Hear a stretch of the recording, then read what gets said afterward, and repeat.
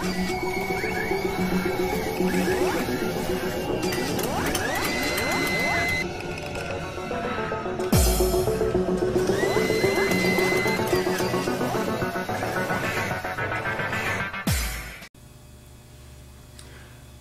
an overall optimum experience with our system, we recommend that you obtain a used alternator from a local junkyard near you. Here's the easy way to find one. Go to car-parts.com. After you've went to car-parts.com, fill in the search criteria for your vehicle. Put in alternator. The bottom two search boxes, put in distance and your zip code. Before disassembly, just to save yourself a ton of headaches later, we're going to take a hammer and a center punch and mark this Ford alternator right where the through bolt goes through on these raised up bosses. Just put two little dots or one little dot right here and then on the accompanying piece right there that way when you sandblast or buff or paint or anything that you do, you can always easily line it back up again for reassembly. Hello and welcome to the Rebuild Your Own High Amp 3G Alternator video. Here you can see the two different sizes. The one size is identifiable. The smallest one, the 95 amp, by the four holes right there and the larger 130 amp version is identifiable by the two holes in between the spokes. There you can see the four holes in between the spokes which is the smaller 95 amp diameter and there you can see the two holes between the spokes which is the larger diameter 130 amp version. But now that we have our core let's just take a minute and inspect the condition that it's in. First thing, if you're buying these from a yard, you want to try and get one that's in fairly decent shape. Try and avoid a lot of corrosion on one because as you can see, we're going to look at the outside in this area right here and inspect that for any cracks that run vertically look all the way around and you can see there's no cracks or breaks but this one here the one that has a lot of corrosion on it has a break where the corrosion ruined it. So before we get started we want to make sure like this here is not on your core. If you do find a crack in the side of your housing though, or if you're taking it apart and it cracks after you started taking it apart, no need to panic. You can call us. They're not real expensive. We can send you one. So we're ready to start tearing this thing apart. First thing to come off is the voltage regulator brush holder assembly. You'll see these four screws here that I've highlighted in red. Those are T20s take those four out. These two here you don't have to mess with right now. There's the Torx head tool you need to pull those four bolts out. Here it is already removed from the alternator. This is the voltage regulator. Underneath you can see the uh, brush holder assembly. These are the two brushes. These are gone. And then there's the four screws. Take those and uh, put them aside so you can clean them up really good with a buffing wheel or a wire toothbrush. If you take this apart and um, say you lose a spring, one of the springs flies out or something because the brush didn't stay in place, don't worry about it. We're going to be replacing this whole thing as a unit. It comes with a new voltage regulator and the brushes and brush holder and springs are all included. Next we're going to remove the three through bolts that hold the alternator together. Those are 5 16 heads. They're approximately a quarter inch in diameter. Sometimes they can get a little rough to get out. They don't have a habit of breaking off though because they're a quarter inch in diameter. If you use some uh, rust bust like your WD-40 or something of that nature, put some in this area here and maybe a little bit up in that area there. Tap it with a hammer, wait about 10-15 minutes and then reapply and then they normally just come right out. 5 16ths head on them.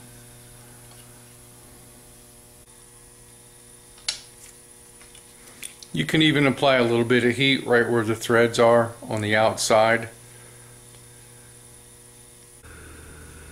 Now we're going to take a hammer and just pop the back lid off.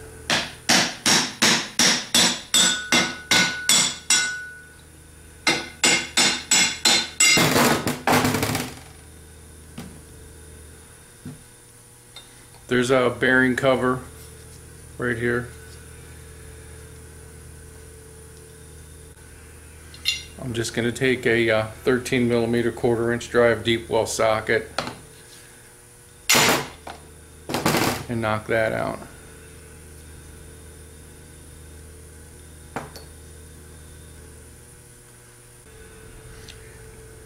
So let's just take a minute here and look at the slip ring. Most of the time you'll see a burn mark on the bottom one, the one that's farthest away from the brush. That's where it wore out. That's where the brush ran out of length and started burning. This one here, um, there's no groove in it. Not much of a groove there. Usually there's a groove. And that's why we supply it with a new slip ring and the instructions on how to replace it. Now we're going to remove the pulley. This is a CP half inch impact, half inch drive, 15 16 socket. And you can take this pulley off before you begin taking the alternator apart. You can take it off anytime you want, but from here on out you have to have it off. Just to be safe, we're going to put a rag on there. And it's just regular uh, right hand threads.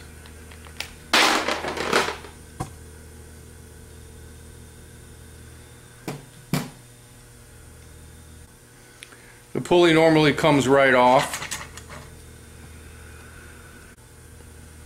Now we're going to remove the pulley. This is a CP half inch impact, half inch drive, 15 16 socket. And you can take this pulley off before you begin taking the alternator apart. You can take it off anytime you want, but from here on out you have to have it off. Just to be safe, we're going to put a rag on there. And it's just regular uh, right hand threads.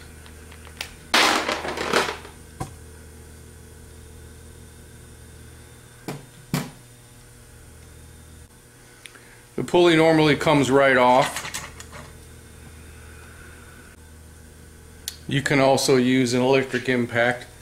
If the pulley is kind of stuck on there, um, a lot of times if it's rust, just put some rust bust or WD-40 down in there, let it soak for a while, and use two medium-sized screwdrivers to get it out. The technique is um, wedge them under there, then twist them at first. Just turn them either both the same way or opposite, and then start to pry it off.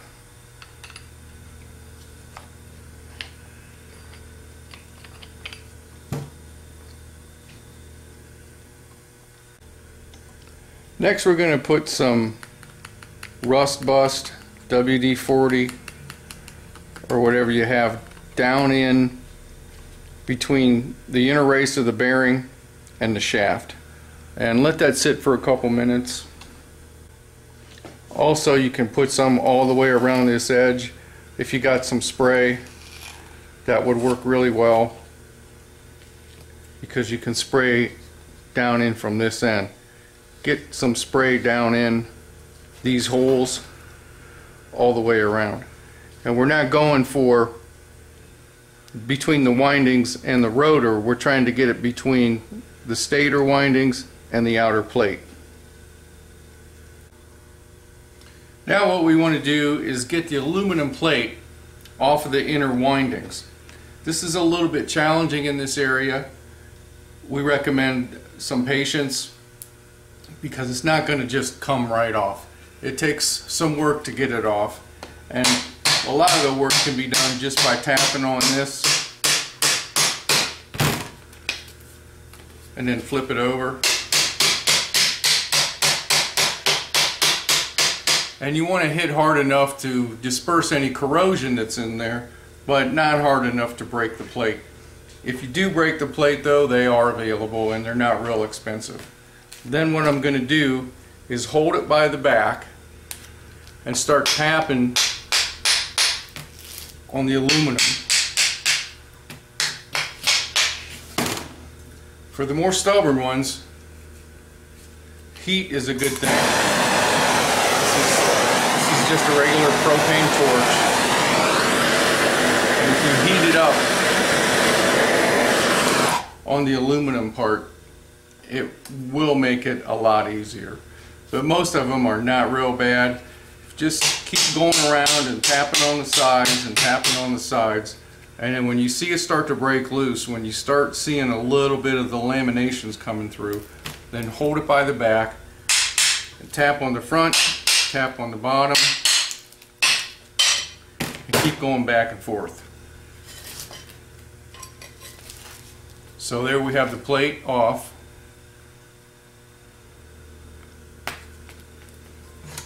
We have the rotor, which we're going to be putting a new bearing and a new slip ring on. And then we have the stator rectifier assembly. This is the stator windings.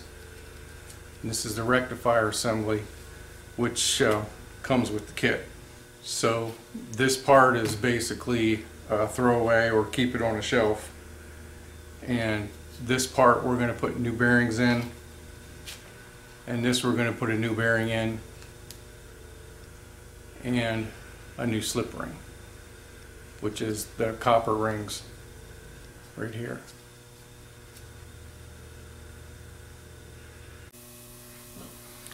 Next thing we have to do is we have to get this bearing off of the end so that we can change the slip ring if you got a puller or if you have uh, some sort of tool like a cheese cutter or a bearing splitter that was designed to do this, you can do that. Uh, this method works really well though.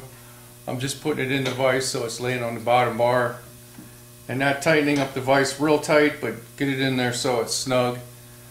Then this is a uh, 6 inch quarter inch extension don't use your good snap-on or your good uh, Mac tools, but try and find a junky one that's um, been beat on a little bit because we're going to do what you really shouldn't do with tools, but uh, we want to show you a way that tools that are laying around in your garage can be used to get this job done.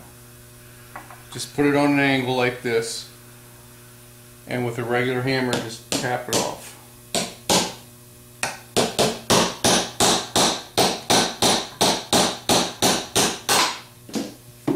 Sometimes you get it stuck at an angle. You might want to just turn this around and tap it from the other side. But they come right off. Now we're looking straight down on the rotor where we just took this bearing off right here. Focus your attention on this wire and the piece coming up. We want to put a nice clean cut right here. Don't disturb this. We want to cut it right in this area right here so that we can remove the um, slip ring. Same thing over here. We want to put a cut as close to the riser part of the wires coming up out of the coil as we can. But the coil where it comes up is protect, protected in plastic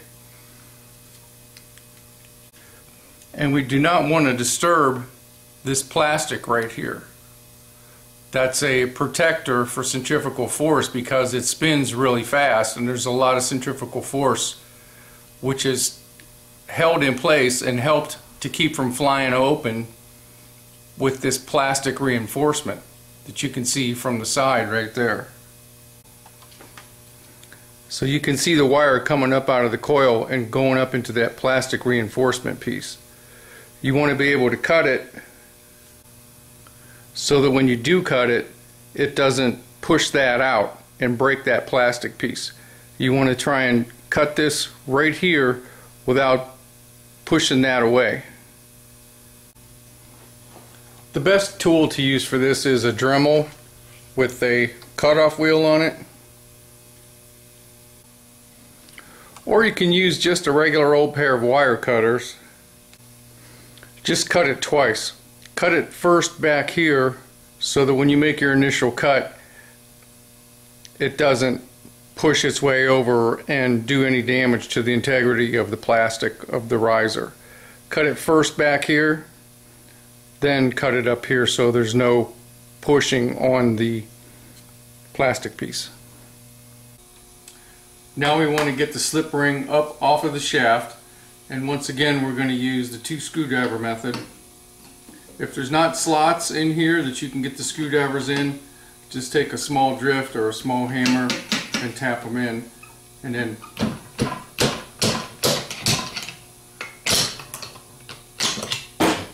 pry that up out of the way.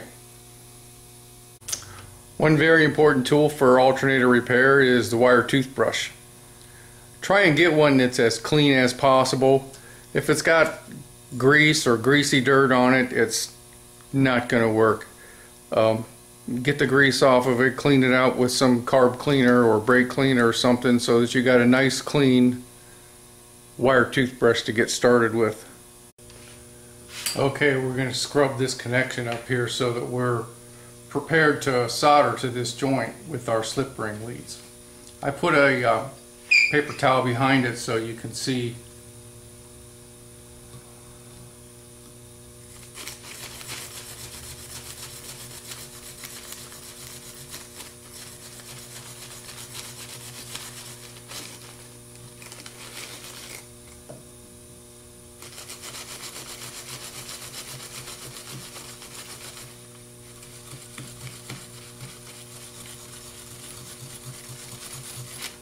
And what I'm doing is I'm holding onto it to give it support with the needle nose so that as I scrub it, it doesn't deteriorate the integrity of the plastic below it.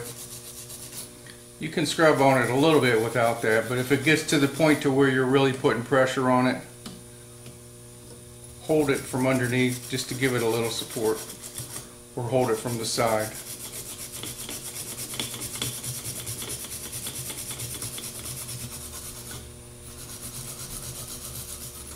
When you're doing a solder connection,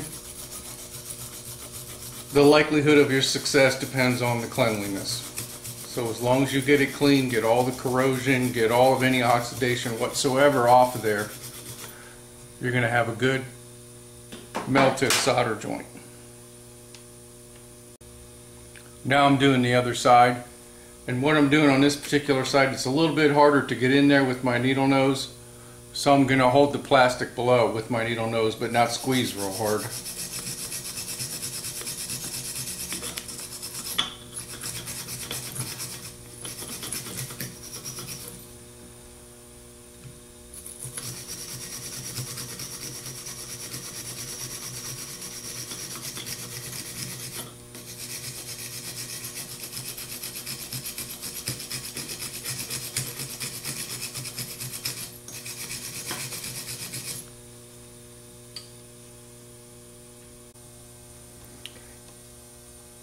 Here's a visual of what it would look like when it's all completely cleaned up, nice and shiny.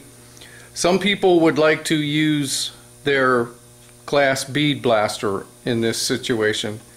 You can do that, uh, but a lot of glass bead, there's impurities in it.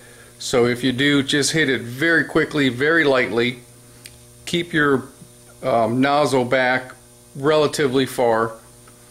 And then finish up with the uh, toothbrush anyway because there's impurities in the sand and your your wire toothbrush has been cleaned with your carb cleaner, brake cleaner or it's brand new and you want to always finish up with the wire toothbrush even if you do have a glass beater.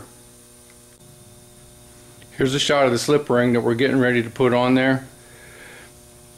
You'll notice oxidation occurs in almost no time what's at all. Just 48 hours sitting at room temperature, uh, oxidation starts to work on the copper. It's got like a tarnish to it. So we want to take our wire toothbrush and even though it's brand new, spend a little bit of time and clean that up so it's got a brand new fresh finish to it.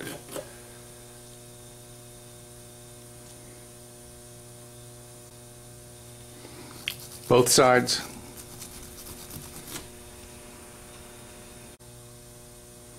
We're getting ready to uh, push this down onto the shaft. Alignment is very important because if you're just a little bit off, it's going to hit in the wrong place and put a crack in the plastic. So take special note of this flat side and this flat side on both ends. Here and here. These line up in these slots. Here and here. So the trick is to set that on there perfectly straight so that when you go down on there, there's no interference hitting with that and making it crack. I'm getting ready to tap the slip ring down onto the shaft. I've put a little bit of white lithium grease on the shaft. What I have here is a pretty common three quarter inch long socket, deep wall socket. Uh, one of the more thicker ones, not the thin wall. And I just put it up on here, get my hammer and start tapping it down slowly. Tap a little bit and then look from the side to make sure it's going straight. I have it sitting in the vise on this ridge. Trying to avoid sitting on the fans. They're not real sensitive and you can straighten them back out if one gets dinged a little bit. But try and it's sitting in the vise on the jaws on that ridge.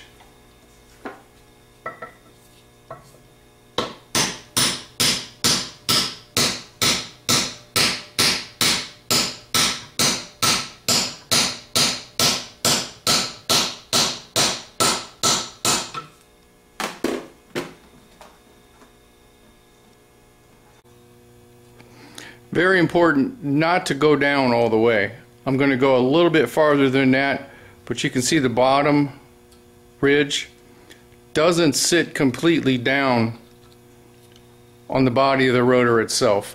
If you could envision a piece of paper being under there and then taking it down just to where the piece of paper could be pulled out after you're done.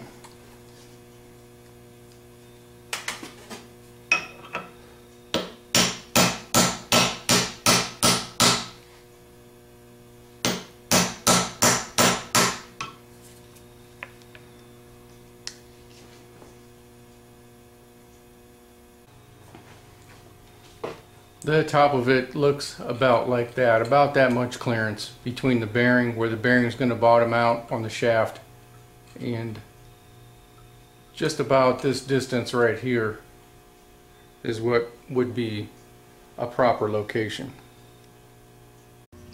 Then I'm going to take these leads and a pair of needle nose and bend them around the riser.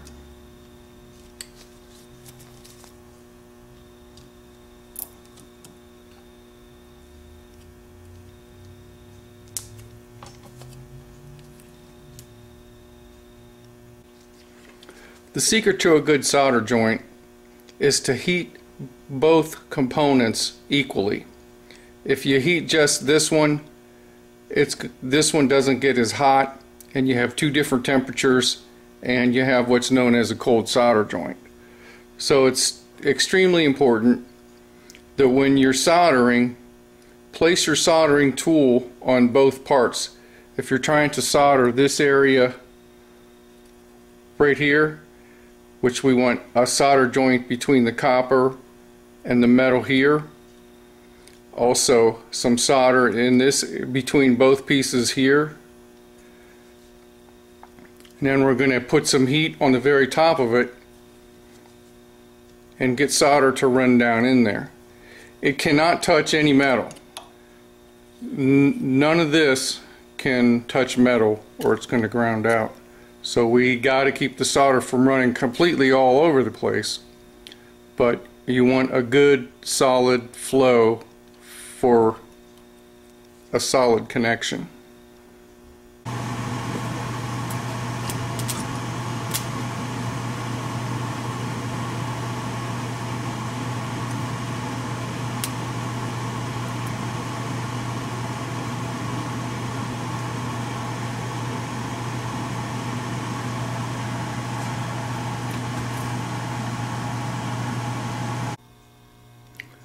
We're using a liquid flux pre-clean for the solder joints.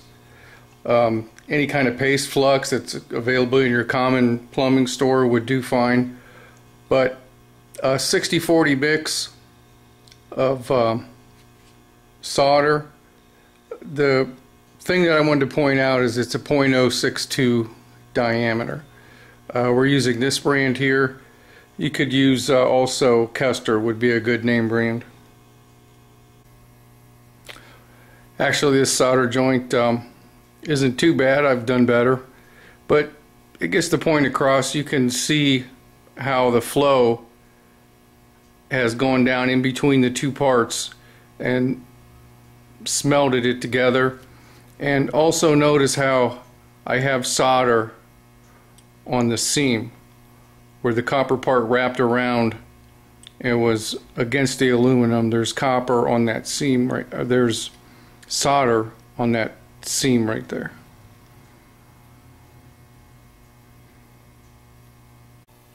At this time we can do a little bit of cosmetics. Um, if you want to take your wire brush and just go all around, get some of the rust off, uh, you should take um, probably about um, 120 grit or less sandpaper, 200 grit even, and just take the tarnish off of the slip rings. Uh, also take your wire brush and get all the rust off this shaft. Kind of clean up the uh, threads a little bit with the wire brush, not real tough, but get as much um, of the old Loctite off of the shaft that you can because we're going to be putting a couple drops of uh, new red Loctite on there and we want a fresh bind. Once you get it cleaned up a little bit you can take this opportunity to apply a little bit of paint if you want to just to kind of keep the rust down uh, cover up the copper. And if you get uh, a little bit of paint on here would be a good thing. It would help keep tarnish and corrosion off. Any kind of paint really. Uh, varnish and red insulating paint of course is the best. But um, just basically any kind of spray paint really is all you're really after. It's varnished down in there so if you get paint on there it's just going to cover up the varnish and help it to last. I'm using a three corner file not to remove a lot of stock but just to get a nice fresh cut metal edge so that I can get a better solder joint. Once you're down to fresh metal, that's the best solder joint that you can get.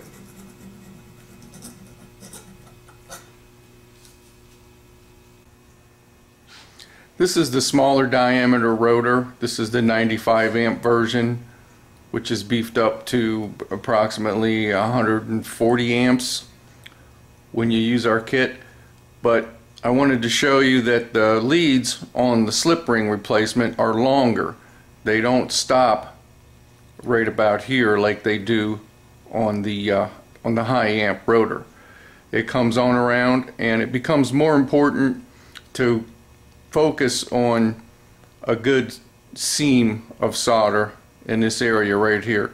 Make sure that on its way around it's vertical, straight up and down, and then you can even push in a little bit on it as you're trying to solder. I don't recommend hemostats in this case because they'll sink a lot of heat out and make your solder joint in the other area not good.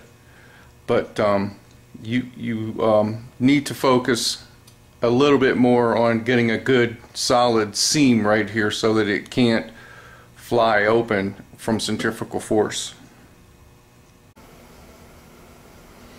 Here you can see the uh, nice smooth line where the back of the piece meets the front of the piece so that there can be no uh, problems with it coming open later or flying apart. And then looking down on it you can see where everything melted really well and soaked down in making it one solid piece. One thing to try and avoid is something like this which just adds extra weight. And uh, it's not the end of the world but it can cause you some problems. You want to try and heat that up again and then push that off and get it to go away because you can see where there was a little too much solder applied which is easy to do and it didn't go down in it was probably already full and it just kind of molten over the side and formed a drip uh, which is going to be dead weight and you want to and it won't do any connection. So you want to try and avoid that. That should probably be just reheated a little and corrected so that there's not a big drip there. Okay here's the drive-end plate. We're going to address the bearing and go with a little bit of cosmetics. You see the two the three screws holding the bearing in here and here and here. Those are 5 16 heads. Take them out.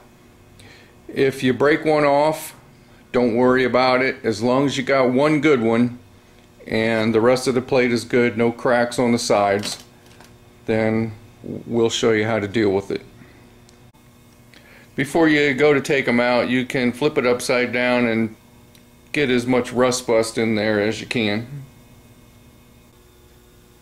We're going to take the bearing out.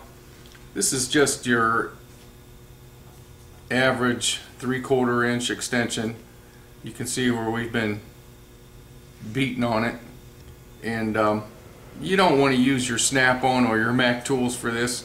Just go down to uh, and get the cheapest uh, 79 cent thing you can use. That way it's not destroyed. It comes right out. And here we have the bearing cover and you can see there's three screws. But let's say that uh, one of them or two of them broke which is not at all uncommon. The way you deal with it is you take a hacksaw or a whizzer wheel and make a cut right here and right there. So it comes out looking like that and then when you're ready to put it back together you just lay that on the side and put that one screw in and that will hold the bearing. We've been doing this for about 20 years and we probably got a bazillion of them out there that it works no side effects.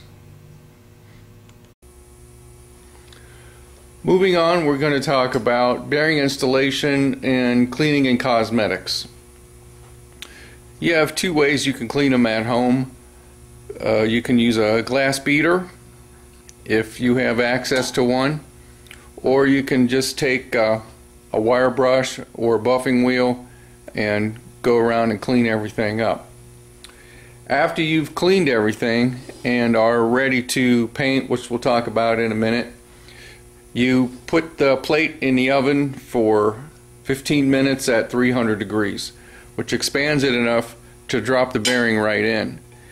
You can also, if you really want to get fancy, you can put the bearing in the freezer for uh, 15 minutes or a little bit longer and it's guaranteed to fall right in. We recommend a thin line, not really a layer, but just a, a little bit of 271 red Loctite around the outside, just around the outside of the bearing. Or you can drop it right in. This kind of goes without saying, but after you've put the bearing in, uh, put the three screws and the bearing cover or the one screw with the modified bearing cover back in. If you use the wire wheel and wire brush to clean up your alternator plate and um, you feel that you've got a little bit of dirt to hide, you can use Rust-Oleum hammered finish. It's a uh, silver in color. It comes in, it comes in various colors, but uh, some of you will want to match the detail that's on the rest of your engine. So you can paint it with just about anything that's going to take a little bit of high temperature. But we've used this at certain times for different things and it holds up really well. It gives you a little bit of a crinkle look to hide imperfections. If you were able to glass bead your plates, this product here is available at uh, readily available at various hardware stores and Walmart, Lowe's, and it's got a lot more revealing finish, but it's a very desirable look. Also another product you can use that may be available in the field is a type of paint called Cast Blast. This one's by Seymour Paints and um, you can see it's got a grayish tint to it. These are two products that we use here and um, something that would be similar to it would be available at most big box auto parts stores. This is what we use on the windings. You can spray on the stator windings and also on the rotor windings or on the rotor body itself. The tinted ignition sealer or the red insulating varnish. This is just some gloss gold paint that we painted the bolts with. On the 3G the bolts are visible.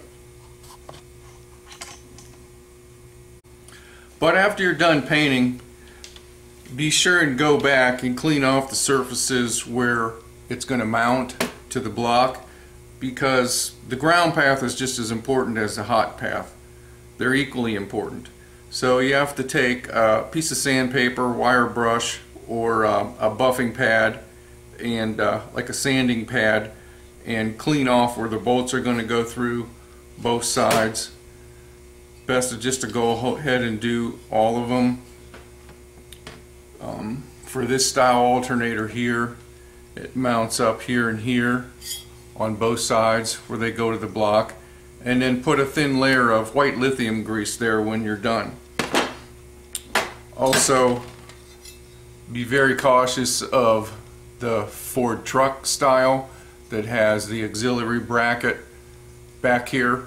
We need the back plate to be grounded as well as the front plate.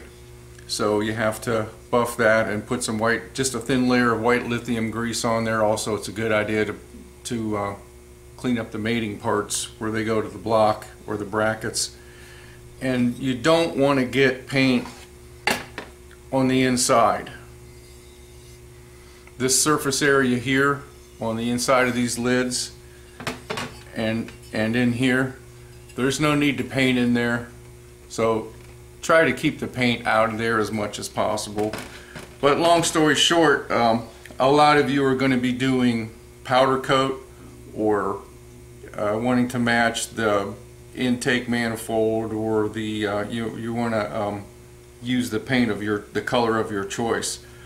Um, just make sure that you go back and clean up the ground spots and uh, don't get any on the inside where we need connection would like to show you a little bit about the kit first of all the regulator is made by a company called USI. Very dependable. You can expect 100,000 miles out of this with the proper care and usage. the slip ring has already been installed and we painted the rotor with the red insulating paint that we showed you earlier. The bearing in the back has to have tolerance rings on it for expansion and contraction. Also, the drive-end bearing, which is a plain roller bearing, is a high quality bearing. And we give you a nut and lock washer just to make sure everything's copacetic. The stator is a new American wound high amp output. This will get you 40, 50, up to 70 amps increase from stock. Comes with a new rectifier. They're all all of the joints are spot welded for high amp. All of the solder joints, all of the uh, diode joints with the rectifier are spot welded. And then the stator is silver soldered in. We do that for you before we send it.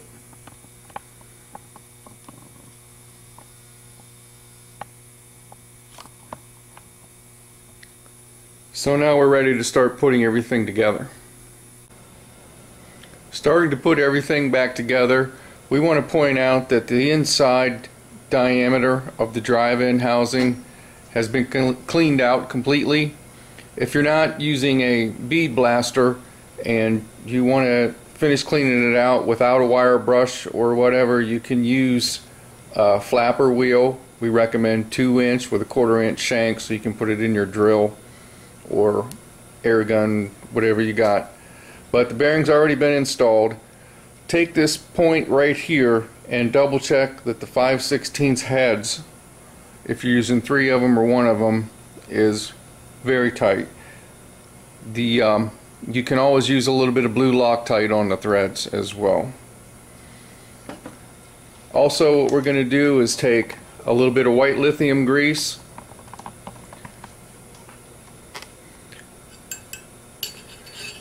just a tiny thin layer and spread that around with your finger all the way around on this inside race to keep any future corrosion out. Now we're ready to put the rotor in. This has been thoroughly cleaned. Just set that down in there and push it all the way down so that the spacer mounts up against the bearing. There's no other spacer in there. It can also be a really good idea to put some 271 red Loctite just a little bit right where the bearing rides.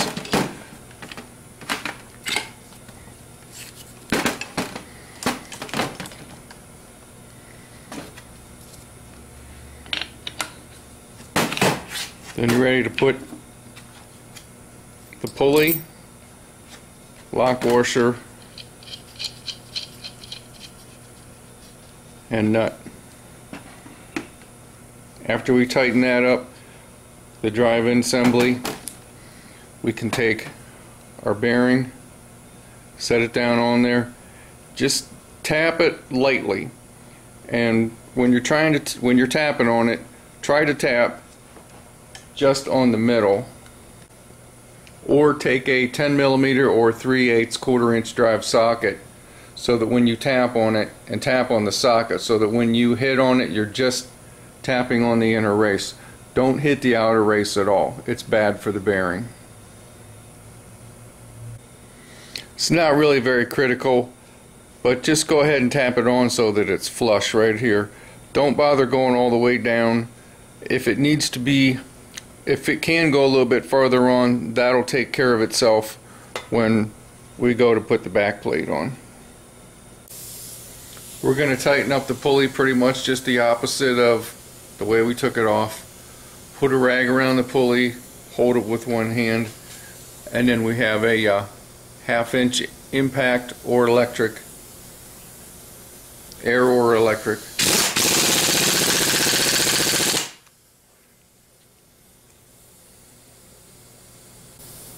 If you do have a setting on your gun, it's technically 90 foot-pounds. We prefer about 120.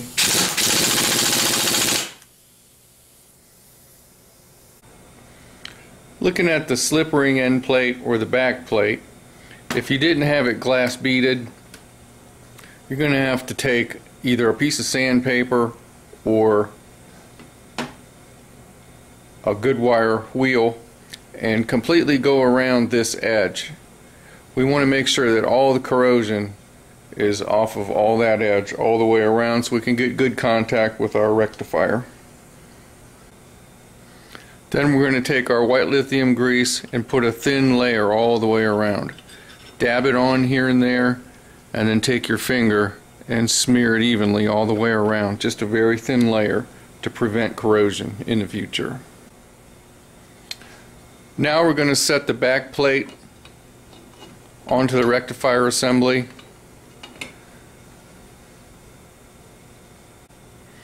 It fits down on there loosely.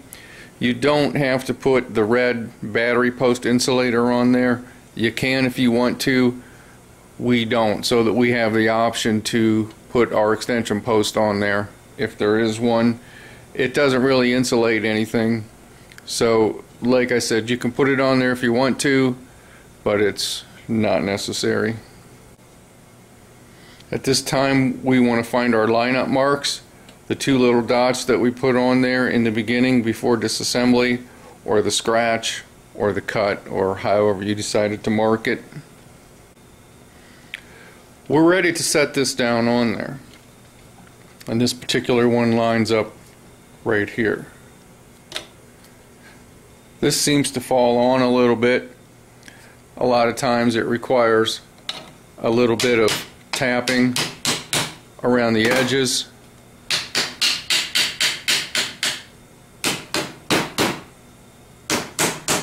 to make sure everything's seated well. Once you're at this point, you may encounter some resistance as you go to spin it. This one doesn't, but it wouldn't be uncommon to have a little bit of a, a, a hit in there, and this can be adjusted. And the reason for that is these stacks in here, these laminations, are very difficult for the winder to get in there absolutely perfectly round. Uh, quite often there's little pieces sticking out and they're not exactly in there perfect maybe a thousandth or two thousandths out and they're likely to rub on the rotor itself as it spins especially because the rotor's been um, had corrosion on it for all these years. So what you can do is take the ball side of your ball and peen hammer and tap those back lightly. Or you can also use your flapper to go around and clean the inside out. Be very careful not to hit any copper. You just want to hit the uh, the lamination area if you do accidentally slip onto uh, and just put a little ding in any of the copper, it's not a good thing, but you can. It's not really going to hurt anything as long as most of it's still there. There really isn't a lot of uh, repercussions for that. Just try the best you can to stay away from the copper and just concentrate on having a nice steady clean out on that. When you're done, blow everything out of there, get all those chips out of there. We're going to do this for you, but it would really be a good idea just to go ahead and inspect it for yourself. This area right here, all the way around, this is next to the rectifier, make sure that these are pushed back as, as far as you can. You can take the ball of your hammer and kind of tap them back a little bit.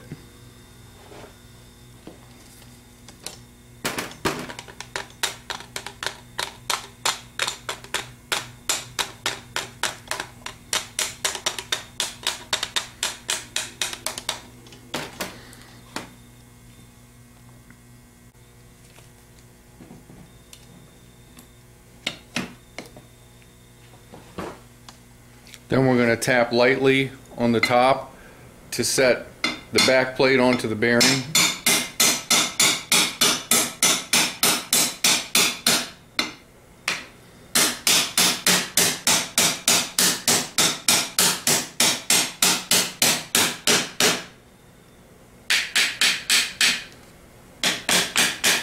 Line everything up.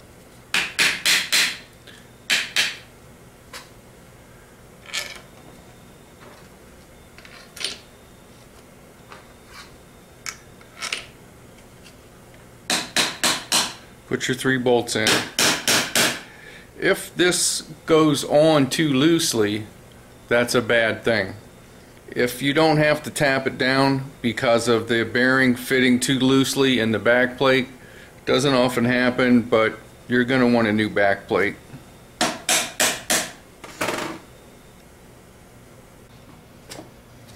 Tighten down your 5 16 bolts. Put your bearing cover back on and give it a spin. See if everything spins okay. If you do encounter a little bit of a uh, nick on the sides, a little bit just of a hit, nothing major. If it's major, then you if it locks up and and you can't even turn the pulley, then you have to get that spinning. You can tap on it all the way around the sides, and then after it settles in a little bit, retighten your bolts. But you have to get it so that it'll at least spin. If there's a, a little bit of a nick or a little bit of a hit, don't be upset about it. Just go ahead and install the alternator. This one here came out nice and clean. But quite often they don't. They have to be broken and you just hit on the sides. Wherever you, when you feel it hit somewhere, wherever it catches at, stop at that spot and tap on it right there. So as you get it broken, as you get it to work, and uh, gradually it'll it'll um, work its way in by tapping on the sides. And if it's a really bad spot, you can always take it back apart and use your flapper a little bit more because you'll be able to see a rub mark on the inside wherever it was rubbing at and you know you can concentrate on that, on that area with the flapper. But just get it so it pretty much spins. If it's got a little bit of a nick to it, don't be concerned we're ready to put the voltage regulator on. If you're a sandblaster or, or a um, bead blaster, be sure you get all the sand out of these holes here, these threaded holes. Take your blowgun and blow them out one more time. Put a couple drops of oil in each one. Well, one drop of oil in each one. The four screws that hold down the voltage regulator have been buffed, particularly in this area right here, underneath the head of the bolt, on the flange, and the threads.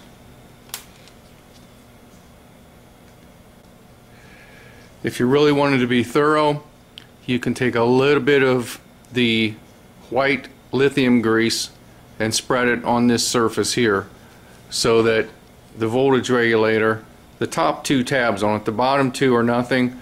The top two tabs are grounds for the voltage regulator itself. So you don't want any future rust to be able to form under there at a later date or if it gets wet or if it gets antifreeze or oil on it and inhibit that connection.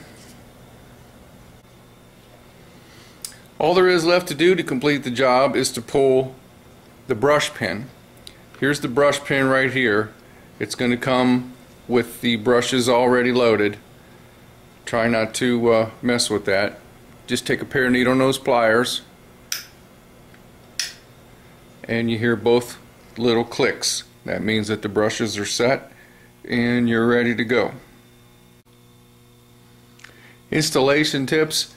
Make sure, absolutely sure, that your battery is completely and fully charged, which means that you have to charge it at a low setting for a minimum of three hours. You can uh, just double check. I think we went over this before, but just to make sure all the ground spots have to be cleaned. And you know we love this dielectric grease, this, this white lithium grease. Smear a thin layer of that where everything grounds Also, you can use it here on the battery post. Put a spot of it on your light. This is the terminal that puts the light out. And also put some in here so you get a good protection against oxidation.